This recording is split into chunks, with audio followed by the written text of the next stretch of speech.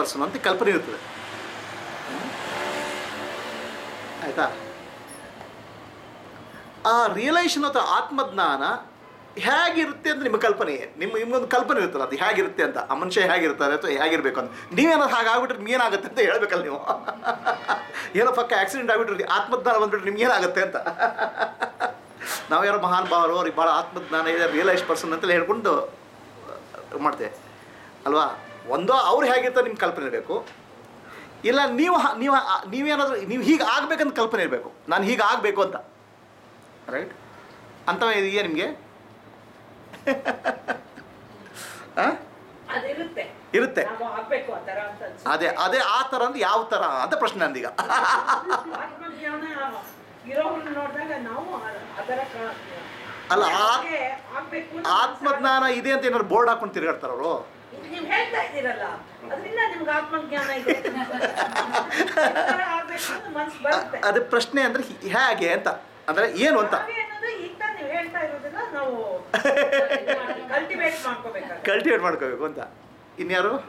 ಅಂದ್ರೆ ಅದೇ ಸತ್ಪುರುಷರು ಇರ್ತಾರಲ್ಲ ಅವ್ರ ಹತ್ರ ಇರೋದನ್ನ ನಾವು ತಿಳ್ಕೊಂಡು ಅವರ ರೀತಿ ನಡೆಯೋದನ್ನ ಅದು ಏನು ಅಂತ. ಅವ್ ಅವ್- ನೀವು ನೀವು ಅವರ ಹಾಗೆ ಆಗ್ಲಿ ಸಾಧ್ಯನೋ ಬರೀ ನಮಗೆ ನಾವು ಬದುಕೊಳ್ಳೋದು ನಮ್ಮ ಮಕ್ಕಳು ನಮ್ಮ ಸಂಸಾರ ಅಂತಲ್ಲ ನಮ್ಮಿಂದ ಒಂದು ನಾಲ್ಕು ಜನಕ್ಕೆ ಉಪಯೋಗ ಆಗೋ ತರದ್ದು ನಾವು ಮಾಡಿದ್ರೆ ಒಂದು ಸ್ವಲ್ಪ ಇರೋದ್ರಿಂದ ಅಂದ್ರೆ ಆತ್ಮಜ್ಞಾನ ನಾವು ಬೆಳೆಸ್ಬೋದು. ಆತ್ಮಜ್ಞಾನಿ ಆದವನು ಹೇಗಿರ್ತಾನೆ ಅಂತ ಒಳಗೆ ನಮ್ಗೊಂದು ಕಲ್ಪನೆ ಇರುತ್ತಲ್ಲ ಹಾ. ಈಗ ಒಬ್ಬ ಶ್ರೀಮಂತ ಅಂದರೆ ಓಹೋ ಅವನು ಬರೀ ಬಂಗಾರ ತಟ್ಟೆಯಲ್ಲಿ ಊಟ ಮಾಡೋದು ಅಂತ ಹಾಗೆ ಒಬ್ಬ ಆತ್ಮಜ್ಞಾನಿ ಹೇಗಿರ್ತಾನಪ್ಪ ಅವನು? ಏನಂತ ಅವನು? ಅವನು ಏನು ಒಳಗೆ ಅವ್ನು ಏನಾದರೂ ಏನಾದರೂ ಇರ್ತದೆ ಅವನಿಗೆ? ಅದು ಒಳಗೆ? ಯಾವ ಇರಲ್ಲ. ನಿರ್ವಿಕಾರವಾಗಿರ್ತಾರೆ ಯಾವ್ದು ಯಾವುದೇ ಥರವಾಗಿಲ್ಲ ಇರಲ್ಲ. ಯಾರು ಏನಾದ್ರು ಹೇಳ್ಕೊಳ್ಳಿ. ಸದಾ ಅವ್ರ್ದು- ಪ್ರಸನ್ನ ಹಾ, ಒಂದು ಕಲ್ಲು ಬಂಡೆ ಇದ್ದ ಹಾಗೆ. ಅಷ್ಟೇ.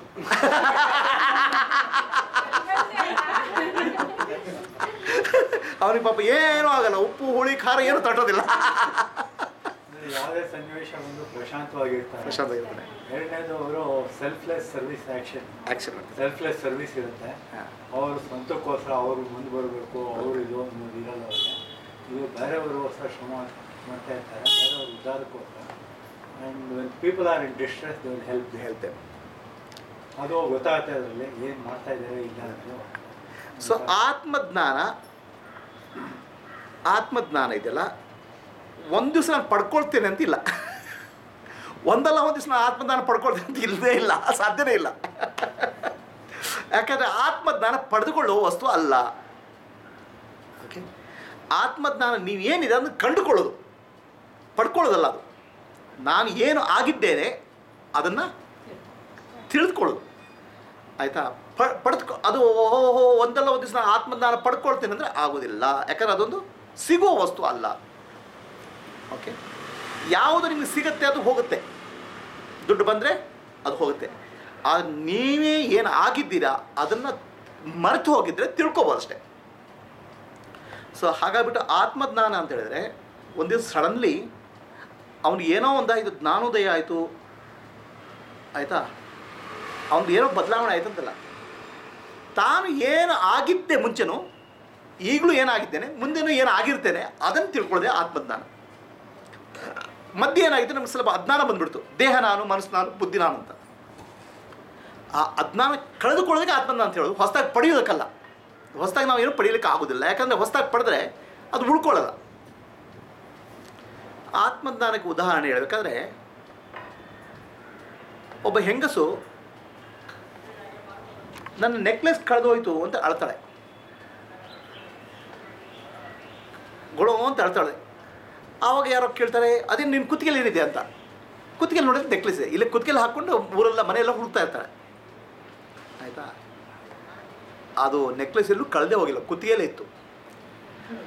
ಅದೇ ರೀತಿ ಆತ್ಮ ಅನ್ನೋದು ಎಲ್ಲೂ ಕಳೆದು ಹೋಗಿಲ್ಲ. ಆಯಿತಾ? ಆತ್ಮ ಸದಾಕಾಲ ನಮ್ಮೊಟ್ಟಿಗೆ ನಾನೇ ಆಗಿದ್ದೇನೆ ಅದು. ನಾನೇ ಆಗಿರುವ ಆತ್ಮ ನಾನು ಪುನಃ ಅಲ್ಲಿ ಕಳೆಯೋದು ಪಡೆಯೋದು ಪ್ರಶ್ನೆನೇ ಇಲ್ಲ. ಮರೆತು ಹೋಗ್ಬೋದು ಅಷ್ಟೇ. ಓಕೆ ಸೊ ಮರೆತು ಹೋದದನ್ನು ನೆನಪು ಮಾಡಿಕೊಳ್ಳೋದೇ ಆತ್ಮಜ್ಞಾನ. ಆಹೋ ಆತ್ಮಜ್ಞಾನ ಪಡೆದು ಏನೋ ಆಯಿತು ನನಗೆ. ಹಾಗೇನು ಆಗೋದಿಲ್ಲ. ಓಹೋಹೋ, ಆತ್ಮಜ್ಞಾನ ಬಂದ ನನಗೆ ಏನೋ ಒಂದು ಸ್ಪೆಷಲ್ ಎಫೆಕ್ಟ್ ಆಯಿತು. ಹಾಗಿಲ್ಲ. ನನಗೆ ಏನು ಮರೆತು ಹೋಗಿತ್ತು ಅದು ನೆನಪು ಬಂತು. ಅಥವಾ ನಾನು ತಪ್ಪಾಗಿ ತಿಳ್ಕೊಳ್ಳೋದು ಬಿಟ್ಟೆ ಅಷ್ಟೇ. ಹೊಸದಾಗಿ ಏನೂ ಆಗೋದಿಲ್ಲ. ಅದು ಕೇವಲ ಜ್ಞಾನದಿಂದ ಬರೋದು. ಆ ಆತ್ಮಜ್ಞಾನ ಅಂದರೆ ಸರಿಯಾಗಿ ಅರ್ಥ ಮಾಡಿಕೊಳ್ಳೋದ್ರಿಂದ ಬರೋದು. ಓಹೋ, ಸರಿಯಾಗಿ ಅರ್ಥ ಮಾಡ್ಕೊಳ್ಳೋದು ಏನು ನಾವು ಇಷ್ಟು ಕಾಲ ಉಪನಿಷತ್ ಇದಕ್ಕೆ ಹೋಗಿದ್ದೆ, ಪ್ರವಚನಕ್ಕೆ ಹೋಗಿದ್ದಲ್ವಾ? ಆ, ಅಲ್ಲಿ ಹೋಗಿದ್ವಿ, ಆ ಭಗವದ್ಗೀತೆ ಓದಿದೆ ಎಲ್ಲ ಓದಿದೆ. ನನಗೆ ಇನ್ಯಾಕೋ ಅರ್ಥ ಆಗಿಲ್ಲ. ಇದು ವಿಷಯ ತಲೆಯಲ್ಲಿ ತುಂಬಿಕೊಳ್ಳೋ ವಿಷಯ ಅಲ್ಲ. ಆತ್ಮಜ್ಞಾನ ಅಂದರೆ ಇನ್ನೂ ಒಂದು ಸ್ವಲ್ಪ ಕೆ ಜಿ ಇದು, ಇರೋದು ಪ್ರವಚನಗಳನ್ನು ತುಂಬೋಣ ಅಲ್ಲ. ಇನ್ನೂ ಎಷ್ಟು ಪುಸ್ತಕಗಳನ್ನ ನನ್ನ ತಲೆಯಲ್ಲಿ ತುಂಬಿಕೊಳ್ಳೋಂತ ಅಲ್ಲ. ಓಕೆ ಅದು ಇನ್ನೂ ತುಂಬಿಕೊಳ್ಳೋದಲ್ಲ. ಆತ್ಮಜ್ಞಾನ ಅಂದರೆ ತುಂಬಿಕೊಳ್ಳೋದಲ್ಲ. ಆತ್ಮಜ್ಞಾನ ಅಂದರೆ ವಿಚಾರ ಮಾಡಿ ನಾನು ಏನು ಅಲ್ಲ ಅಂತ ತಿಳ್ಕೊಳ್ಳೋದು. ವಿಚಾರ ಮಾಡಿ. ಆ ವಿಚಾರ ಮಾಡಬೇಡ, ಓ, ನಾನು ದಿನಾಪನ ವಿಚಾರ ಮಾಡಬೇಕಾ? ಬೇಡ. ನಿಮ್ಗೆ ಒಂದು ಸಲ ವಿಚಾರ ಮಾಡಿ ಸರಿಯಾಗಿ ಅರ್ಥ ಆಯಿತು? ಅಷ್ಟೇ. ಲಾಸ್ಟ್ ಕ್ಲಾಸಲ್ಲಿ ನಿಮ್ಗೆ ಹೇಳಿದೆ, ನಾನು ದೇಹ ಅಲ್ಲ, ನಾನು ಪಾತ್ರ ಅಲ್ಲ, ಪಾತ್ರ, ನಾನು ನಾನು ಪಾತ್ರಧಾರಿ ಪಾತ್ರ ನಾನಲ್ಲ ಅಂತ. ಅಲ್ವಾ? ಒಂದೊಂದಾಗಿ ನಾನು ಏನಲ್ಲ ಅಂತ ತಿಳ್ಕೊಳ್ಳೋದೇ ಆತ್ಮಜ್ಞಾನ. ಅದನ್ನು ನಿಮಗೆ ದೃಢ ಆಗಬೇಕು. ನಿಮ್ಗೆ ಅದು ಕನ್ವಿನ್ಸ್ ಆಗಿಲ್ಲ ಅನ್ನೋದ್ರ ಪುನಃ ಕೇಳಿ. ಸೊ ನಾನು ಪಾತ್ರನೇ ಇಲ್ಲ ರೀ ನಾನು ಹೆಂಗಸೇ ನಾನು ತಾಯಿನೇ ಅಂತ ನಿಮ್ಗೆ ಕನ್ವಿಷ ಇದು ಧೈರ್ಯ ಇದ್ದಿದ್ರೆ ಇನ್ನು ಹೋಗಿಲ್ಲ ಪಾತ್ರ ಅಂದ್ಬಿಟ್ಟು ಇದು ಹೇಳಿ ನನಗೆ ಯಾಕಂತ ಕೇಳಿ ನಾನು ಕೇಳ್ತೇನೆ ಅವಾಗ. ಸೊ ಯಾರೋ ಹೇಳಿದಲ್ಲಪ್ಪ ಅದು ಸುಲಭ ಅಷ್ಟು ಪಾತ್ರ ಹೋಗೋದಷ್ಟು ಸುಲಭ ಅಲ್ಲ ಅಂತ ಹೇಳಿದ್ರು ಯಾರ್ದು? ಹಾಂ ಯಾಕಲ್ಲ? ಪ್ರಶ್ನೆ.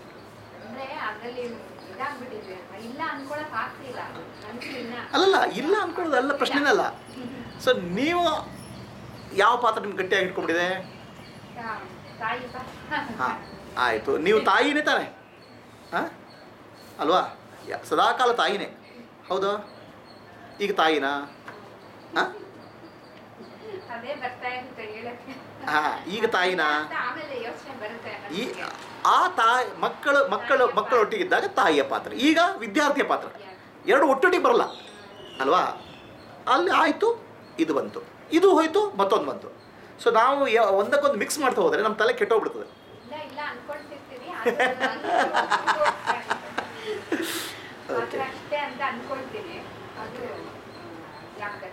ಸೊ ಈಗ ನಾವು ಏನು ಮಾಡ್ತಿದ್ರೆ ಸ್ವಲ್ಪ ಬಗ್ಗೆ ಹೇಳೋ. ಆಧ್ಯಾತ್ಮ ಅಂದರೆ ಭಜನೆ ಮಾಡ್ತಾರೆ ಜಪ ಮಾಡ್ತಾರೆ ಯಾತ್ರೆಗೆ ಹೋಗ್ತಾರೆ ಆಯಿತಾ? ಕಡೆ ಯೋಗ ಮಾಡ್ತಾರೆ ಪ್ರಾಣಾಯಾಮ ಮಾಡ್ತಾರೆ ಬಟ್ ಬೇರೆ ಬೇರೆ ವೇದಾಂತಗಳ ಅಧ್ಯಯನ ಮಾಡ್ತಾರೆ. ಇದಕ್ಕೆಲ್ಲ ಕರ್ಮಯೋಗ ಭಕ್ತಿಯೋಗ ಕ್ರಿಯಾಯೋಗ ಅಂತ ಹೇಳೋದು. ಇವೆಲ್ಲ ಯೋಗಗಳು ಬೇಕು. ಯಾಕಂದ್ರೆ ಮನಸ್ಸು ಶುದ್ಧ ಆಗಬೇಕು. ಮನಸ್ಸು ತಲೆಯೆಲ್ಲ ಕಲ್ಮಶ ಆಗಿಬಿಟ್ಟಿದೆ. ಮನಸ್ಸು ಶುದ್ಧ ಆಗಲಿ ಎಲ್ಲ ಯೋಗಗಳು ಬೇಕು. ಆದರೆ ಮುಂದೆ ಏನು? ಅಲ್ಲಿ ಮುಂದೆ ಏನಂದರೆ ಫೈನಲಿ ಎಲ್ಲ ಕಲ್ತದಾಯಿತು ಈಗ ವಿಚಾರ ಮಾಡಬೇಕು. ನಾನು ಯಾರು ಅಂತ ವಿಚಾರ ಮಾಡಬೇಕು. ಇಲ್ಲಿ ತಿಳ್ಕೊಳ್ಳಿ ತುಂಬ ಇಲ್ಲ. ಕಳ್ಕೊಳ್ಳಿ ತುಂಬ ಇದೆ.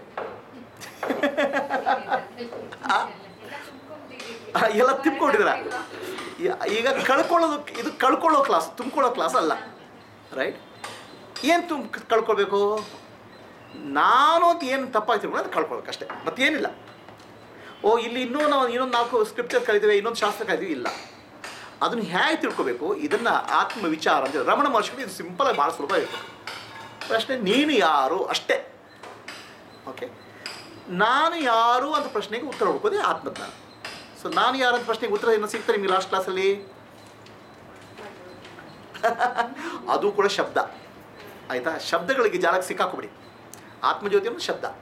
ನಾನು ಯಾರು ಅಂತ ನಿಮಗೆ ಲಾಸ್ಟ್ ಕ್ಲಾಸಲ್ಲಿ ನಾನು ಹೇಳ್ಕೊಟ್ಟು ಹೇಳಿದೆ. ನೆನಪಿದೆ ಯಾರಿಗಾದರೂ? ಹಾಂ. ಅದೆಲ್ಲ ಶಬ್ದಗಳು. ಫೈನಲಿ ನಾನು ಸ್ಥಿತಿ ಹೇಗಿರ್ತದೆ? ನಾನು ಹೀಗಿರ್ತೆ ಅಂತ ಹೇಳ್ಕೊಟ್ಟೆ ನಿಮಗೆ. ನಿಮಗೆ ಗೊತ್ತಿರೋ ವಿಷಯದ ಬಗ್ಗೆ ಹೇಳ್ಕೊಟ್ಟೆ. ಹೇಗಿದೆ ಅದು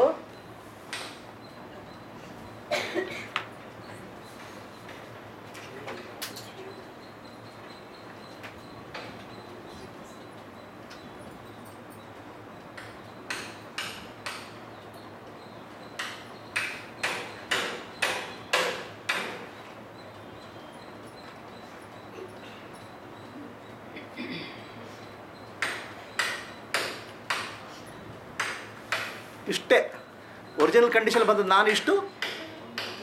ಆ? ಆಯಿತಾ? ಸುಮ್ಮನೆ ನಾನು ಆತ್ಮಜ್ಯೋತಿ ಅನ್ನೋದು ಕೂಡ ಶಬ್ದ. ಈ ಮಗು ನಾನು ಆತ್ಮಜ್ಯೋತಿ ಹೇಳ್ಕೊಂಡು ಕೂತ್ಕೊಳ್ತಾ? ಹಾಂ ಅಷ್ಟೇ. ಎಲ್ಲ ಶಬ್ದಗಳ ಜಾಲದಿಂದ ಹೊರಬೇಕು. ಆ ಮಗುವಿನ ಮುಗ್ಧ ಮನಸ್ಥಿತಿಯನ್ನು ಮುಟ್ಟಬೇಕು ಅದೇ ಒಬ್ಬ ಜ್ಞಾನಿ ಇರೋದು ಅಷ್ಟೇ. ಯಾಕೆ ಜ್ಞಾನಿ ಅಂದರೆ ಒಂದು ಮಗು ಇದ್ದಾಗೆ. ಬೇಕು, ಬೇಡಗಳಿಲ್ಲ. ಶಾಂತ ಸ್ಥಿತಿ, ಆನಂದದ ಸ್ಥಿತಿ. ಸೊ ಪುನಃ ಪುನಃ ಆತ್ಮಜ್ಞಾನದ ಇನ್ನೇನೋ ಒಂದು ತಪ್ಪಾಗಿ ತಿಳ್ಕೊಬೇಡಿ. ನಿಮಗೆ ಗೊತ್ತಿದೆ ಇದು. ನಿಮ್ಮದೇ ಅವಸ್ಥೆ ಆಗಿತ್ತು ಇದು. ಈಗ ಭಾಳ ದುರವಸ್ಥೆ ಆಗ್ಬಿಟ್ಟಿದೆ. ಇದು ಹೀಗಾಗ್ಬಿಟ್ಟಿದೆ ಆಯಿತಾ? ಇಲ್ಲಿಂದ ಇಲ್ಲಿ ಮುಟ್ಟಿದ್ರೆ ಈಗ ವಾಪಸ್ ಹೀಗೆ ಹೋಗಿ, ಹೋಗೋದೇ ಹಾಗೆ ಅಂತ. ಹೀಗೆ ಹೋಗ್ಬೇಕಾದ್ರೆ ಇನ್ನೂ ತುಂಬಿಕೊಂಡ್ರೆ ಆಗಲ್ಲ. ಇಲ್ಲಿ ಕಳ್ಕೊಂಡ್ರೆ ಆಗುತ್ತೆ. ಏನು ಕಳ್ಕೋಬೇಕು? ನಾನು ಅಂತ ಏನೇನು ಹೇಳ್ಕೊಂಡಿದ್ದೋ ಅದೆಲ್ಲ ಕಳ್ಕೊಳ್ತಾ ಹೋಗಬೇಕು ಹೌದಾ? ಸೊ ಲಾಸ್ಟ್ ಕ್ಲಾಸಲ್ಲಿ ನೀವು ಯಾರು ಬಂದಿಲ್ಲ, ಯಾರು ಎಷ್ಟು ಮೂರ್ನಾಲ್ಕು ಜನ ಬಂದಿಲ್ಲ ಅವರಿಗೆ? ಕ್ವಿಕ್ಕಾಗಿ ನೀವು ಯಾರು ಅಂತ ಹೇಳ್ತೀರಪ್ಪ?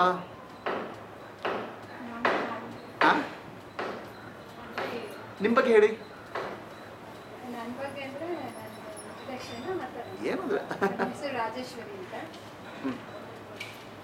ಅದೇ ನನಗೆ ಸ್ವಲ್ಪ ಈ ಥರದ್ದು ಸತ್ಸಂಗದ ಇದೆಲ್ಲ ಸ್ವಲ್ಪ ಇಷ್ಟ. ಅಲ್ಲಿ ಯಾವ ಥರ ಇದ್ದಿದ್ರು ನಾನು ನಾಗರಾಜ. ನಾನು ಕಾರ್ಖಾನೆ ಉದ್ಯೋಗಿ ಮತ್ತು ಕೃಷ್ಣ ನನ್ನೆಲ್ಲರೂ ಗೊಂದಲಗಳನ್ನ ಇನ್ಯಾರು ನಾನು ಹೆಸರು ಶ್ರೀನಿವಾಸನ್ ಹಾಂ. ಶ್ರೀನಿಧಿಲಿ ಸಾಫ್ಟ್ವೇರ್ ಪ್ರಾಜೆಕ್ಟ್ ಹಾಂ.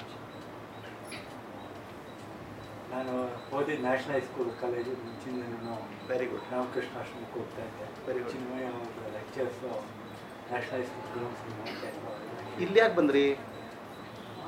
ಚಿನ್ಮಯ ಅಂತ ಹೇಳಿದ್ರೆ ನನಗೇನು ಹೇಳೋಕ್ಕಾಗಲ್ಲ ನನ್ನ ಕೈಲಿ. ಅವರು ಭಗವದ್ಗೀತೆ ವೇದಾಂತ ಆಧ್ಯಾತ್ಮಿಕ ಇದರಲ್ಲಿ ಆಸಕ್ತಿ ಇದೆ ಅಲ್ಲ ಪ್ರಶ್ನೆ ಅಂದರೆ ಆ ಆಸಕ್ತಿ ಎಲ್ಲಿವರೆಗೆ ಇರ್ತದೆ ಮತ್ತು ಎಲ್ಲಿವರೆಗೆ ಬೇಕು ಅಂತ ಪ್ರಶ್ನೆ. ಇದು ಕಲಿಯೋದಕ್ಕೆ ಇದೇ ಕೊನೆ ಇದೆ ಮೊದಲು ಅಂತ ಹೇಳೋಕ್ಕಾಗಲ್ಲ. ಅದು ಕಲಿಯೋದು ಇದು ಕಂಟಿನ್ಯೂಸ್ ಇದೆ. ಅದಕ್ಕೆ ಹೇಳಿದ್ರು ಈ ಕ್ಲಾಸು ಕಲಿಯುವುದಲ್ಲ ಬಿಡೋದು ಅಂತ ಅಲ್ಲ ಅಲ್ಲ. ಕಲಿಯೋದು. ಬರೀ ಬಿಡೋದು. ಸಿ ನಾವು ಇಲ್ಲಿ ಕೆಟ್ಟದ್ದು ಬಿಡುವ ಪ್ರಶ್ನೆನೇ ಇಲ್ಲ. ನಾನು ಅನ್ನೋದನ್ನ ಬಿಡಬೇಕು. ಅಷ್ಟೇ. ಈಗ ನಾನು ಅನ್ನೋದಕ್ಕೆಲ್ಲ ಸೇರ್ಕೊಂಡಿದೆ. ಹೌದು. ಆಯ್ತಾ? ಸೊ ಇಲ್ಲಿ ಏನು ಹೊಸ ವಿಷಯ ಕಲೀಲಿಕ್ಕೆ ಆಗೋದಿಲ್ಲ. ಸ್ವಾಮಿ ಚಿನ್ಮಯ ಅಂತ ಹೇಳಿದ್ಕಿಂತ ಒಂದು ಅಕ್ಷರ ಜಾಸ್ತಿ ಹೇಳೋಕ್ಕಾಗಲ್ಲ ನಮ್ಮ ಕೈಲಿ. ರೈಟ್ ನಾನಿಲ್ಲಿ ಆತ್ಮದರ್ಶನ ಮಾಡ್ಕೊಂಡು ಬಂದಿರೋ ವಿದ್ಯಾರ್ಥಿ ಆತ್ಮದರ್ಶನ ಅಂದ್ರೆ ಏನು ಅದೇ, ಗೊಂದಲಗಳಿರೋದ್ರಿಂದ ಈಗ ಗೊಂದಲಗಳಲ್ಲಿ ನಾವೇನಿದ್ದೀವಿ ಹಾಂ ಅದನ್ನ ಬಿಡೋಕ್ ಬಂದ್ ಬಿಡೋ ಬಿಡಬೇಕು ಅಂತ ಬಂದಿರೋ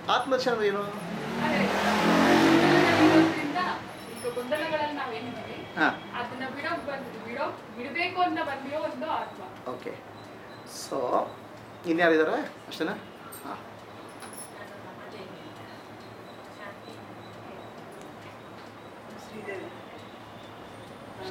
ನಾವು ತನಕ ನಾವು ಏನಾಯಿತು ನಮಗೆ ಗೊತ್ತಿಲ್ಲ.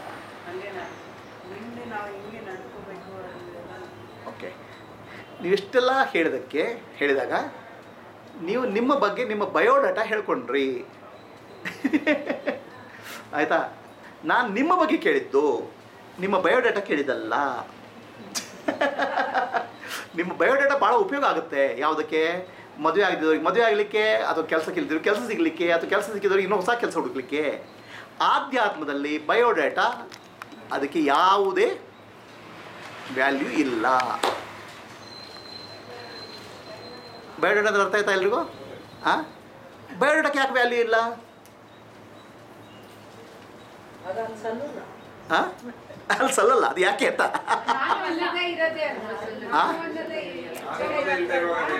ನೋಡಿ ಒಂದು ಪೀಸ್ ಆಫ್ ಪೇಪರ್ ಕೊಡಿ. ಪೀಸ್ ಆಫ್ ಕೊಡಿ ಹಾಂ ಒಂದು ಪೇಪರ್ ಕೊಡಿ ಸರ್. ಹಾಂ ಅದು ಕೊಡಿ ಅದು ಕೊಡಿ ಅದೇ ಕೊಡಿ ಅದೇ ಕೊಡಿ ಸರ್. ಬೇಕಾದ ಬೇಡಲ್ಲ? ಹಾಂ ಇದು ನಿಮ್ಮ ಬಯೋಡಾಟಾ ಅಪ್ಪ. ನಿಮ್ಮ ಜೀವನ ದೊಡ್ಡದು ಬೆಳೀತಾ ಬೆಳೀತಾ ಬಯೋಡಾಟಾ ಒಂದು ಪೇಜ್ ಇದ್ದು ಎರಡು ಪೇಜ್ ಆಗುತ್ತೆ ಎರಡು ಪೇಜ್ ಇದ್ದು ನಾಲ್ಕು ಪೇಜ್ ಆಗುತ್ತೆ. ಆಯಿತಾ? ಆಯಿತಾ? ಹಾಂ?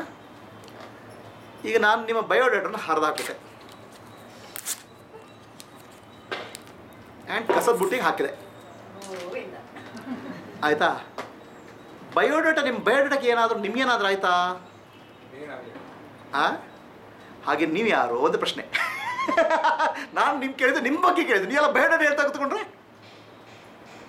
ಹಾಂ ಬಯೋಡೇಟಾದಲ್ಲಿ ನೀವು ಎಲ್ಲಿ ಹುಟ್ಟಿದ್ರಿ, ಯಾವ ಊರು, ನಾನು ಇಷ್ಟಿಷ್ಟು ವೇದಾಂತ ಓದಿದೆ, ಇಷ್ಟು ಪ್ರವಚನಕ್ಕೆ ಹೋದೆ?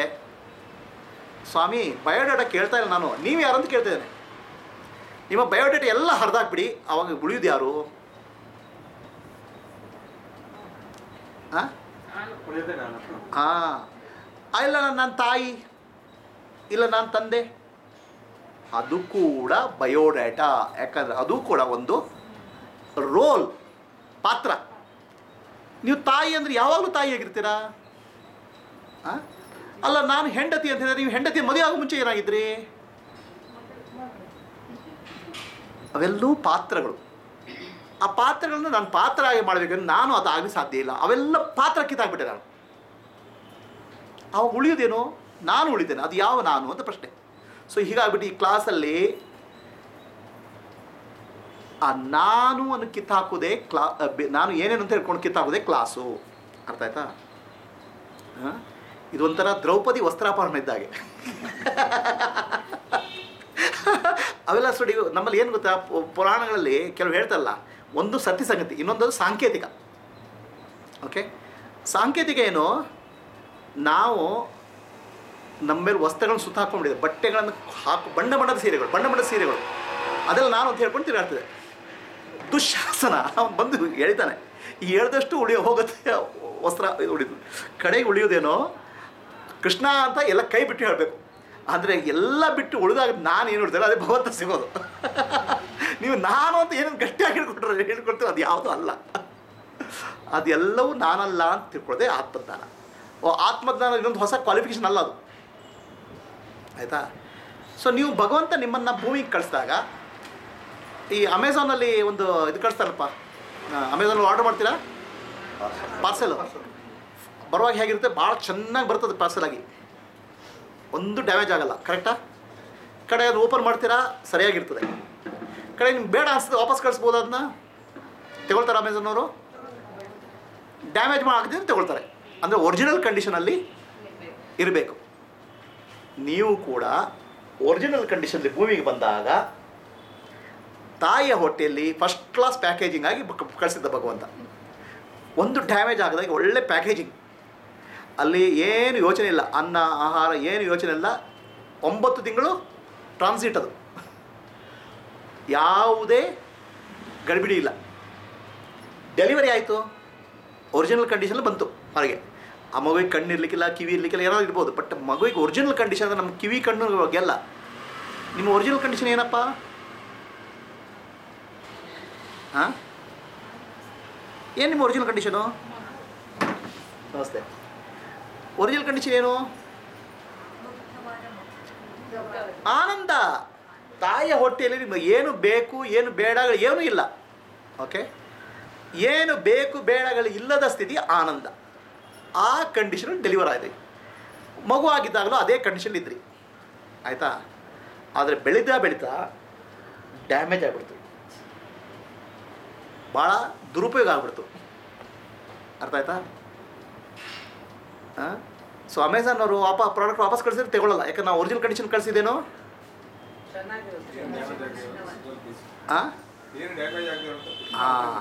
ಅದೇ ರೀತಿ ನಿಮಗೂ ಕೂಡ ನೀವು ವಾಪಸ್ ಒರಿಜಿನಲ್ ಕಂಡೀಷನಲ್ಲಿ ಭಗವಂತನಿಗೆ ಸೇರ್ಕೊಂಡ್ಬಿಟ್ರೆ ಅವ್ನು ಎಕ್ಸೆಪ್ಟ್ ಮಾಡ್ಕೊಳ್ತಾನೆ ನೀವು ಡ್ಯಾಮೇಜ್ ಆದ ಕಂಡೀಷನಲ್ಲಿ ಬಂದರೆ ನಾಟ್ ಎಕ್ಸೆಪ್ಟಬಲ್ ರಿಟರ್ನ್ ವಾಪಸ್ ಹೋಗಿ. ಗೊತ್ತಾಯ್ತಾ? ಸೊ ಒರಿಜಿನಲ್ ಕಂಡೀಷನ್ ಏನು ನಿಮ್ಮದು ಮಗು ಅಲ್ಲ. ಆನಂದ. ಮಗುವಿನ ಆನಂದ. ನಿಮ್ಗೆ ಆನಂದ ಅಂದ್ರೆ ಗೊತ್ತಾಗ ಓ, ಆನಂದ, ಬ್ರಹ್ಮಾನಂದ, ಪರಮಾನಂದ, ಮುಕ್ತಾನಂದ. ಓ, ಆನಂದ ಅಂದ್ರೆ ಏನೋ ಅವ್ರು ಕುಣಿತಾ ಇರ್ತಾರೆ ಡ್ಯಾನ್ಸ್ ಮಾಡ್ತಾ ಇರ್ತಾರೆ ಅಂತವೇನಿಲ್ಲ ಮಗು ಹೇಗಿರುತ್ತೆ? ಅದಕ್ಕೆ ಆನಂದ ಸ್ಥಿತಿ ಅಂತ ಹೇಳೋದು. ನೀವು ತಾಯಿ ಹೊಟ್ಟೆಯಲ್ಲಿ ಹಾಗೆ ಏನು ಬೇಕು ಬೇಡಗಳಿರಲಿಲ್ಲ ಅದೇ ಆನಂದ. ನೀವು ಆ ಒರಿಜಿನಲ್ ಕಂಡೀಷನ್ಲಿ ವಾಪಸ್ ಬಂದರೆ ವಾಪಸ್ ವಾಪಸ್ ಬಂದರೆ ಭಗ್ ಭಗವಂತ ಹೋದರೆ ಭಗವಂತ ಹೇಳ್ತಾನೆ, ಬಾರಪ್ಪ ರಿಟರ್ನ್ ಎಕ್ಸೆಪ್ಟೆಡ್ ಇಲ್ಲ, ಏನು? ಡ್ಯಾಮೇಜ್ ಕಂಡೀಷನಲ್ಲಿ ಭಗವಂತ ಅಕ್ಸೆಪ್ಟ್ ಮಾಡಲ್ಲ. ವಾಪಸ್ಸು. ಆಯಿತಾ? ಅದಕ್ಕೆ ಪುನರಪಿ ಜನನಂ ಪುನರಪಿ ಮರಣಂ ಪುನರಪಿ ಜನನಿ ಜಠರೇ ಶಯನಂ ಇಹ ಸಂಸಾರೇ. ಬಹುದುಸ್ಸಾರೇ. ಕೃಪಯಾ ಪಾರೆ ಪಾಹಿ ಮುರಾರೇ. ಸೊ ನಿಮ್ಮ ಪುನರ್ಜನ್ಮ ಪುನಃ ಪುನಃ ಬರುತ್ತೆ ಯಾಕಂತ ಹೇಳಿದ್ರೆ, ನೀವು ಒರಿಜಿನಲ್ ಕಂಡೀಷನ್ ವಾಪಸ್ ಹೋಗ್ತಾ ಇಲ್ಲ. ಡ್ಯಾಮೇಜ್ ಕಂಡೀಷನ್ ಹೋಗ್ತೀರಾ. ಅದು ಡ್ಯಾಮೇಜ್ ಕಂಡೀಷನ್ ತಲೆ ಎಲ್ಲ ಯೋಚನೆಗಳು. ಹಾಂ ಭಗವಂತ ನಿಮ್ಮನ್ನು ಒರಿಜಿನಲ್ ಕಂಡೀಷನಲ್ಲಿ ಮಗುವಿನ ಹಾಗೆ ಅಲ್ಲ ಮಗುವಿನ ಮ ಆನಂದ. ಅದನ್ನು ಕಳಿಸಿದ್ದು. ಅದು ನಿಮ್ಗೆ ಯಾಕೆ ಬರ್ತಾ ಇಲ್ಲ? ಬೇಕು ಬೇಡಗಳು ಜಾಸ್ತಿ ಆಗಿದೆ ಹಾಂ ಹಾಂ ಅದು ಆಸೆಗಳು ಎಲ್ಲಿಂದ ಬಂದವು? ನೀವು ಸೃಷ್ಟಿಕೊಂಡು ಮಾಡಿದ್ದು ಅಲ್ಲ ಅದು. ಸಿ ಅದೇ ಪ್ರಾಬ್ಲಮ್ ಓಕೆ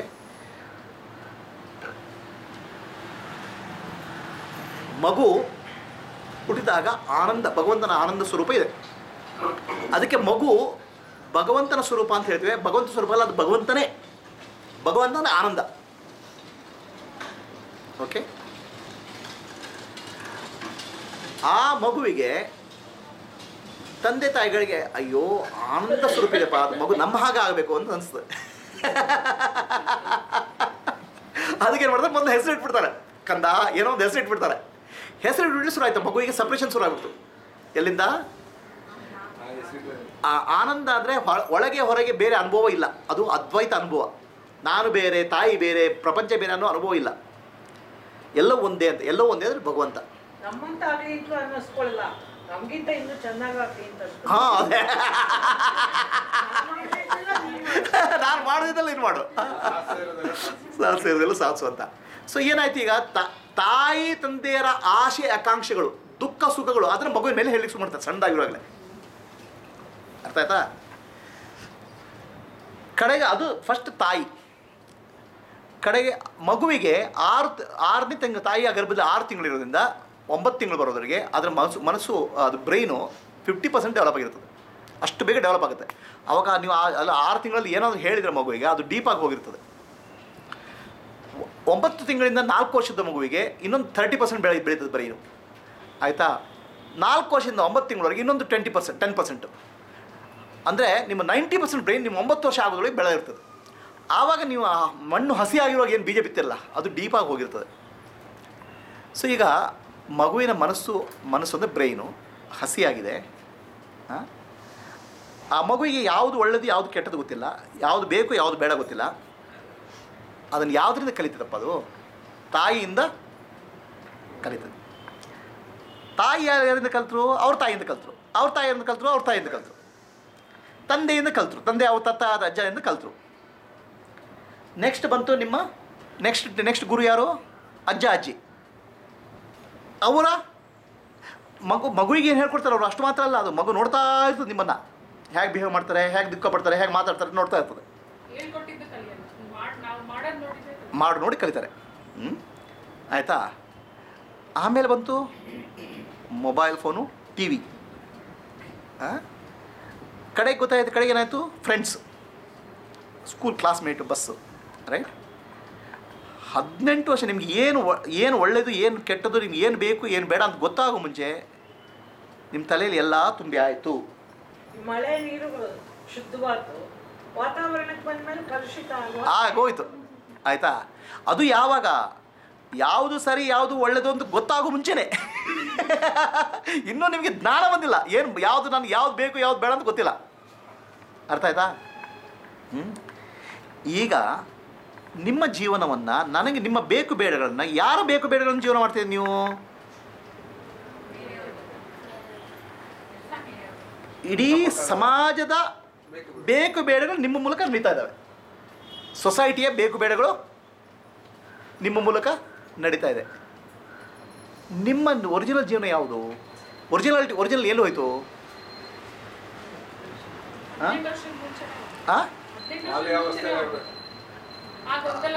ನಿಮಗೆ ನಿಮ್ಮ ಒರಿಜಿನಲ್ ಕಂಡೀಷನ್ ಇದ್ದದ್ದು ಮಗುವಾಗಿ ಆ ಹನ್ನೊಂದು ದಿವಸ ತೊಟ್ಲಿಗೆ ನಾಮಕರಣ ಮಾಡೋ ಮುಂಚೆವರೆಗೆ ಮಾತ್ರ. ನಾಮಕರಣ ಶುರು ಆಯಿತು. ಆ ಮಗುವಿಗೆ ಪ್ರೋಗ್ರಾಮಿಂಗ್ ಶುರು ಆಯಿತು. ಓಕೆ? ನಾಮಕರಣ ದೊಡ್ಡ ವೈರಸ್ ರೈಟ್ ಸೊ ನಾಮಕರಣ, ಆ ವೈರಸ್ ನಾನು ಅಂತ ಸಪ್ರೇಷನ್ ಶುರು ಮಗುವಿಗೆ ಏನಿಲ್ಲ ಅಲ್ಲಿ. ನಾನು ಅಂತ ಸಪ್ರೇಷನ್ ಶುರು ಅದು ಹೋಗ್ಲಿಕ್ಕೆ ಏನು ಮಾಡಿದ್ರು? ನಿಮಗೆ ಭಗವಂತನ ನಾಮಸ್ಮರಣೆ ಮಾಡು ಅಂತ ಹೇಳಿದರು. ಆಯಿತಾ? ಭಗವಂತನೇ ಅಲ್ಲ ಅಂತ. ಮಾಡಿದ್ರಿ. ನಿಮ್ಗೆ ಗೊತ್ತಾ? ನಾನು ಎಷ್ಟು ಭಗವಂತನ ಭಕ್ತ? ಕೇವಲ ಒಂದು ಲಕ್ಷ ಸಲ ಭಗವಂತನ ನಾಮಸ್ಮರಣೆ ಮಾಡಿದೆ ಅಂತ. ಆಯಿತಾ? ಅವನಿಗೆ ಮಗು ನಿದ್ದೆ ಮಾಡ್ತಾ ಇದ್ದಾನೆ. ಅವನು ರಾಮನಾಮ ಮಾಡ್ತಾ ಇದ್ದ ದಿನ. ಲಕ್ಷ ಸಲ ಜಾರಾಮನ ಮಾಡಿದ್ದಾನೆ. ರಾಮ ರಾಮ ರಾಮ ಅಂತ ಹೇಳಿ ಹತ್ರ, ಕಿವಿ ಹತ್ರ. ತಿಮ್ಮಪ್ಪ ಅಂತೇಳಿ ಆ, ಏನ್ರಿ ಅಂತ ಕೇಳ್ತಾನೆ. ತಿಮ್ಮಪ್ಪ ಅವನ ಹೆಸರು. ನಿಮ್ಮ ನಾಮ ಅಷ್ಟು ಡೀಪಾಗಿ ಹೋಗಿರ್ತದೆ. ಆಯ್ತಾ? ನನ್ನ ನಾಮ ನಾನಲ್ಲ, ನನ್ನ ಹೆಸರು ನಾನಲ್ಲ, ಅದು ನನಗೆ ಕೊಟ್ಟದ್ದು. ನಾನು ಯಾರು? ಇದು ಒರಿಜಿನಲ್ ಕಂಡೀಷನು ಆಯ್ತಾ? ಈಗ ಒರಿಜಿನಲ್ ಕಂಡೀಷನ್ ಉಳ್ಕೊಂಡಿದೆಯಾ ಅನ್ನೋದು ಬಾಕಿ? ಅದು ಹೋಗ್ಬಿಟ್ಟಿದೆಯಲ್ಲ ಪೂರ್ತಿ? ಡ್ಯಾಮೇಜ್ ಆಗಿಬಿಟ್ಟಿದೆಯಾ? ಈಗ ರಿಪೇರಿ ಮಾಡೋದು ಹೇಗೆ? ಒರಿಜಿನಲ್ ಗಣೇಶ ಬರೋದು ಹೇಗೆ?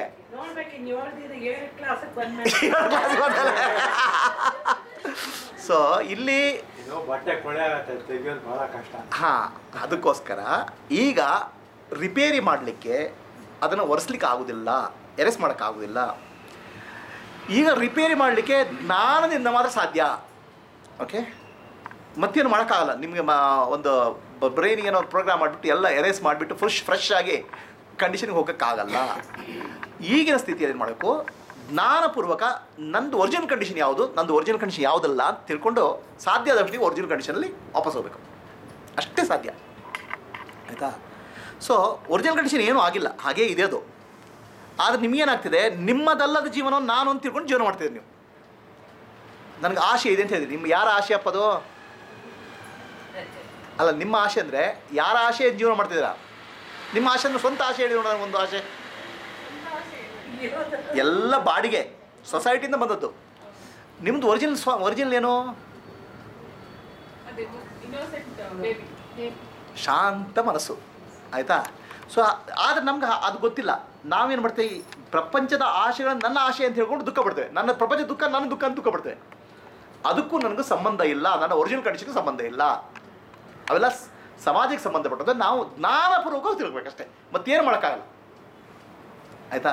ಟಿವಿ ನೋಡ್ತಾ ಈ ಮೊನ್ನೆ ಸಾಯಿಸಿದ್ರಲ್ಲ ಯೋಧ ಆ. ಅಳ್ತಾ ಇದ್ವಿ. ಆತ್ಮ ಸಾಯಲ್ಲ ಅಂತ ಗೊತ್ತಿದೆ.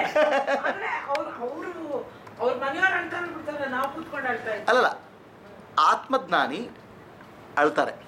ಆತ್ಮಜ್ಞಾನಿಗೆ ಅಳೋದಕ್ಕೇನು ಸಂಬಂಧ ಇಲ್ಲ ತೊಂದರೆ ಇಲ್ಲ. ಓಕೆ ಆದರೆ ಅಳ್ತಾ ಇರೋ ಅವ್ರಿಗೆ ಗೊತ್ತಾಗುತ್ತೆ, ಇದು ದೇಹಕ್ಕೆ ಆಗ್ತಾ ಇರೋದು ನಾನಲ್ಲ ಅಂತ. ಅಷ್ಟೇ. ಆತ್ಮಜ್ಞಾನಿ ರಾಮ, ಸೀತೆ ಸೀತೆ ರಾಮ, ಸೀ, ರಾ- ರಾವಣ ಸೀತೆಯನ್ನು ಕದ್ಕೊಂಡು ಹೋದಾಗ ರಾಮಗಳು ಅಂತ ಅರ್ಥ. ಯಾರ್ರಿ ಅವನು? ಸಾಮಾನ್ಯ ಮನುಷ್ಯ ಆಳ್ತಾನೆ, ರಾಮನು ಆಳ್ತಾರೆ ಅಂತ. ಹಾಗಲ್ಲ ಅದು. ಆತ್ಮಜ್ಞಾನಿ ದೇಹದ ಸ, ದೇಹಕ್ಕೆ ಸಂಬಂಧಪಟ್ಟಾಗ, ಪ್ರಪಂಚಕ್ಕೆ ಸಂಬಂಧಪಟ್ಟಾಗ ದುಃಖಪಟ್ಟಾಗಿ ಕಾಣ್ಬೋದು ಅಥವಾ ಸುಖಪಟ್ಟಾಗಿ ಕಾಣ್ಬೋದು. ಆದರೆ ಒಳಗೆ ಇದು ನಾನು ಯಾವುದಲ್ಲ, ನಾನು ಶಾಂತ ಸ್ವರೂಪ ಅಂತ ಅರಿವು ಸದಾ ಇರ್ತದೆ. ಅದ್ರಲ್ಲಿ ನಾನು ನಾನು ಅದಾಗಿರಲ್ಲ ಅಷ್ಟೇ. ಓಕೆ ಅದಕ್ಕೊಂದು ಕತೆ ಹೇಳಿದ್ದೆ ನಿಮಗೆ ಲಾಸ್ಟ್ ಹೇಳಿದ್ನಂಗೆ ನೆನಪಿಲ್ಲ.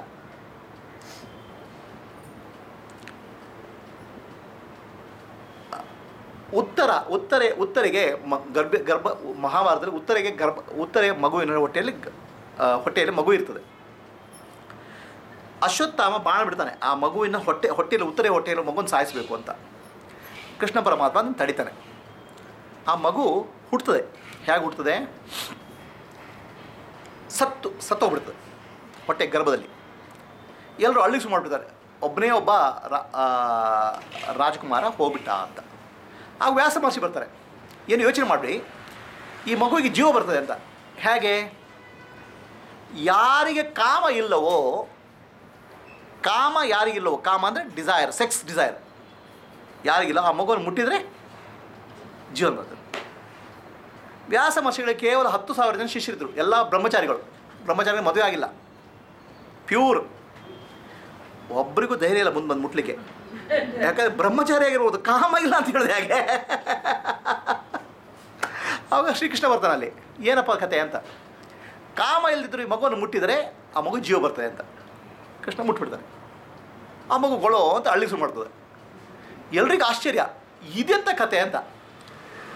ಕೃಷ್ಣ ಪರಮಾತ್ಮನಿಗೆ ಕಾಮ ಇಲ್ಲ ಅಂದ್ರೆ ಏನು ಕತೆ? ಅವನಿಗೆ ಕೇವಲ ಹದಿನಾರು ಸಾವಿರದ ಎಂಟು ಜನ ಹೆಂಡತಿಯರು. ಆಯಿತಾ? ಆ ಹೆಂಡತಿಯರಿಗೆ ಮಕ್ಕಳು ಎಷ್ಟು ಜನ? ಕೃಷ್ಣನಿ, ಕೃಷ್ಣ ಮಹಾ ಸುಳ್ಳ ಅಂತ ಗೊತ್ತು. ಸುಳ್ಳು ಹೇಳ್ಕೊಂಡು ತಿರುಗಾಡ್ತಂತ ಅಂತ ಗೊತ್ತು. ಈಗ ಇದು ದೊಡ್ಡ ಸುಳ್ಳು. ಕಾಮ ಇಲ್ಲ ಅಂತ ಸುಳ್ಳು. ಇದೆಂತ ಕತೆ ಅಂತ. ಅವ್ರು ಕೃಷ್ಣ ಅಂತ ಕೇಳ್ತಾರೆ. ಕೃಷ್ಣ ಹೇಳ್ತಾನೆ, ನನಗೆ ಗೊತ್ತಿಲ್ಲಪ್ಪ. ಮಗು ಈ ಕಾಮ ಇಲ್ದ್ರೆ ಮುಟ್ಟಿದ್ರೆ ನಾನು ಕಾಮ ಎಲ್ದ್ರು ಕೂಡ ಮುಟ್ಟಿದೆ ಅಂತ ಹೇಳಿದ್ರು ನಿಮ್ಗೆ ಇದು ಉತ್ತರ ಬೇಕಾ? ಆ ಕಡೆ ಆಶ್ರಮದಲ್ಲಿ ಮಹರ್ಷಿಗಳಿದ್ದಾರೆ ಅವ್ರ ಹತ್ರ ಹೋಗಿ ಕೇಳಿ ಅಂತ ಹೇಳಿದ್ರು ಸಿ ಅವ್ರು ದಡ ದಡ ದಡ ದಡ ಓಡಿದ್ರು ಎಲ್ಲ, ನದಿ ದಾಟ್ಕೊಂಡು ಎಲ್ಲ ಬಡ ಬಡ ಬಡ ಅಂತ ಹೋದ್ರು ಮಹರ್ಷಿಗಳ ಹತ್ರ. ಆ ಮಹರ್ಷಿಗಳು ಏನು ಮಾಡ್ತಾರೆ ಊಟ ಮಾಡ್ತಾಯಿದ್ರು ಏನಪ್ಪ? ಪ್ರಶ್ನೆ ಇದೆ, ಊಟ ಮಾಡಿ ಮುಗಿಸಿದ್ರು ಊಟ ಮುಗಿಸಿದ್ರು. ಏನು ನಿಮ್ಮ ಪ್ರಶ್ನೆ?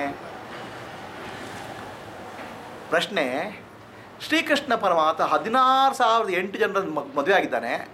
ಅವರಿಗೆ ಎಷ್ಟೋ ಸಾವಿರ ಜನ ಮಕ್ಕಳು. ಆಯಿತಾ? ಆದರೂ ಕಾಮ ಇಲ್ಲ, ಇದು ಹೇಗೆ ಸಾಧ್ಯ ಅಂತ. ಸೊ ಮಹರ್ಷಿಗಳು ನಗ್ತಾರೆ. ಪ್ರಪಂಚದಲ್ಲಿ ಎಲ್ಲ ಸಾಧ್ಯ ಇದೆಯಪ್ಪ? ನಾನು ಊಟ ಮಾಡದೇ ಇದ್ದದ್ದು ಸತ್ಯ ಆಗಿಬಿಟ್ರೆ ಶ್ರೀಕೃಷ್ಣ ಪರಮಾತ್ಮನಿಗೆ ಕಾಮನೂ ಇಲ್ಲ ಅಂತ ಹೇಳ್ಬಿಡ್ತಾರೆ. ಅವ್ರು ಎದುರುಗಡೆ ಊಟ ಮಾಡ್ತಿದ್ದಾರೆ ಅವರು. ಆಯಿತಾ? ಆ? ಇದು ಹೇಗೆ ಸಾಧ್ಯ? ಈಗ ನಿಮ್ಮ ಪ್ರಶ್ನೆ ಕೇಳ್ತಾನೆ ಲಾಸ್ಟ್ ಕ್ಲಾಸ್ ಬಂದವರಿಗೆ ಅಟ್ಲೀಸ್ಟ್ ಸೂತ್ರ ಹೇಳೋಕ್ಕಾಗತ್ತೆ ಇದಕ್ಕೆ ಹಾ ಸೊ ಯಾರಿಗೆ ನಾನು ದೇಹ ಅಲ್ಲ ನಾನು ಮನಸ್ಸಲ್ಲ ನಾನು ಬುದ್ಧಿ ಅಲ್ಲ ನಾನು ಆತ್ಮ ಅಂತ ಗೊತ್ತಿರ್ತಾವೆ ಯಾವ ಕಾಮವೂ ಇಲ್ಲ. ಅದೆಲ್ಲ ದೇಹ ಮನಸ್ಸು ಬುದ್ಧಿಗಳ ವ್ಯವಹಾರ. ನಾನು ಶುದ್ಧ ಸಾಕ್ಷಿ ಅನ್ನುವ ಅರಿವು ಯಾವಾಗಲೂ ಹೋಗೋದಿಲ್ಲ. ನಮಗೆ ದುಃಖ ಯಾಕಾಗ್ತದೆ? ದೇಹ ನಾನು ಮನಸ್ಸು ನಾನು ಬುದ್ಧಿ ನಾನು ಭ್ರಮೆ ಹತ್ಕೊಂಡ್ಬಿಟ್ಟಿದೆ. ಆಯಿತಾ? ಅದಕ್ಕೇನು ಗೊತ್ತಾಗಬೇಕು? ನಾನು. ನಾನೆಂಬುದು. ನಾನಲ್ಲ.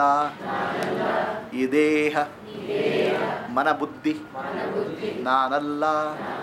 ಸಚಿದಾನಂದಾತ್ಮ ಶಿವನಾನ್ ನಾನೇ. ಶಿವೋಹಂ. ಶಿವೋಹಂ. ಶಿವೋಹಂ. ಸದಾಕಾಲ ನಾನು ಶಿವಸ್ವರೂಪಿ ಅಂತ ನೆನ್ಪಿಟ್ಕೋಬೇಕು.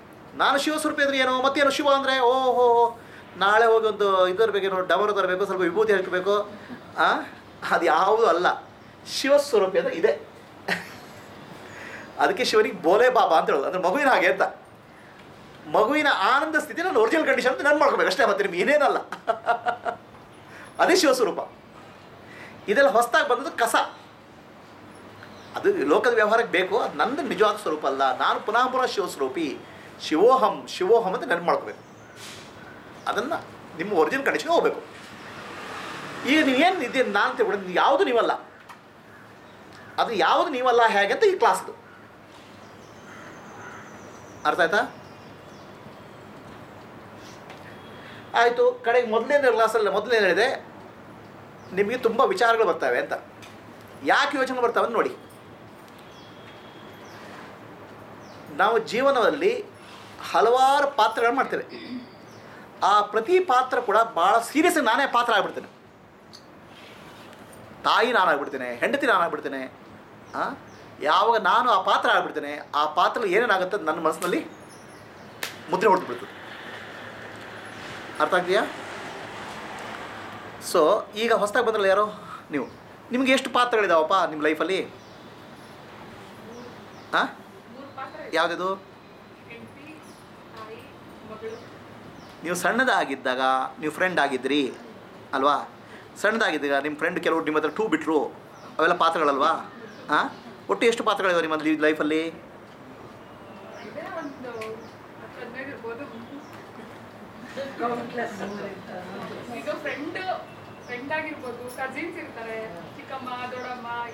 ಅವೆಲ್ಲ ಇರ್ತವೆ. ಪ್ರತಿಯೊಂದು ಪಾತ್ರಗಳನ್ನ ನಾನು ನಿಜವಾಗ್ಲೂ ನೀವು ಪಾತ್ರ ನಾನೇ ಪಾತ್ರ ಅಂತ ತಿಳ್ಕೊಂಡು ಅದು ಮಾಡ್ತೀರಾ? ಆವಾಗ ಏನು ಮಾಡ್ತೀವಿ? ಎಲ್ಲ ಇಂಪ್ರೆಷನ್ ಬಿಡ್ತಾವೆ. ಅದೇ ನೆನಪುಗಳು. ಯೋಚನೆ ಬರ್ತಾವೆ ಅಂದರೆ ಅದೇ ಬರೋದು ಇನ್ಯಾವುದೂ ಅಲ್ಲ. ಆಯಿತಾ? ಒಟ್ಟು ಎಷ್ಟು ಪಾತ್ರ ಇದ್ದಾವೆ ನಿಮ್ಮ ಲೈಫಲ್ಲಿ ಎಷ್ಟು ಪಾತ್ರ ಇದ್ದಾವೆ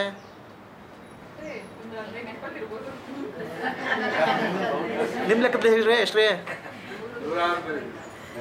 ಇನ್ಯಾರು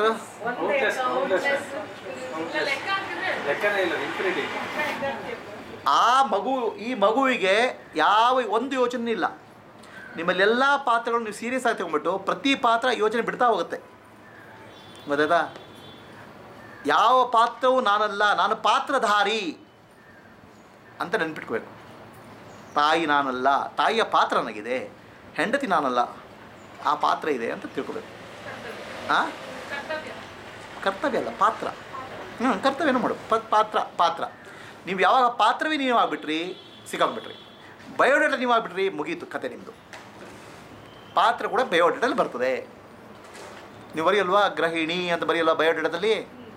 ಹೌಸ್ ಮೇಕರ್ ಅವ್ರ house wife mother of two children ಅವೆಲ್ಲ ಬಯೋಡೇಟಾ.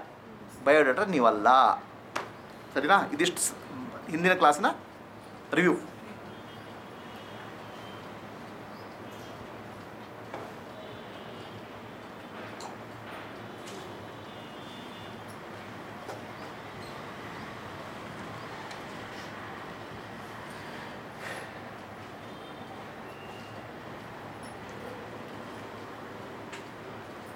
ಕುಕ್ಕರ್ ಒಳಗೆ ಬೇಳೆ ತರಕಾರಿ ಅನ್ನ ಎಲ್ಲ ಇಟ್ಟರು ಕುಕ್ಕರ್ ಒಂದೇ. ಹಾಂ. ಅಷ್ಟೆಲ್ಲ ಪ್ರೆಷರ್ ಇದ್ರೂ ಕುಕ್ಕರ್ ಒಂದೇ. ಅದಕ್ಕೆ ಪ್ರೆಷರ್ ಕುಕ್ಕರ್ ಅಂತ ಹೇಳೋದು.